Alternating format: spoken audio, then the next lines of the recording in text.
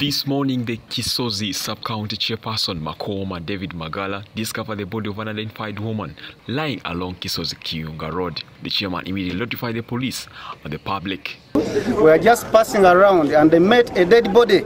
Uh, this was an unknown identif identified person. She was a, a lady, aged around 20 to 22 years. Just the body was lying uh, on road. The police responded immediately and took the body of the deceased to Kamuli General Hospital mortuary for post-mortem as they continue with the investigations, as ASP Kasadha Mike, Region Public Relations Officer, Busoga North explains. Reached to the scene and they, they ensure that the body is conveyed to Kamuli General Hospital mortuary for post-mortem. That's, that marks the beginning of, of investigations. Ronald Molinda, the leader at the Kamuli District Local Council, noted that the woman might have been killed over the night. Everybody who is having a, a girl of that age, he or she, he should communicate to her whether he's there alive or not, and he, he knows what is happening to, to his daughter.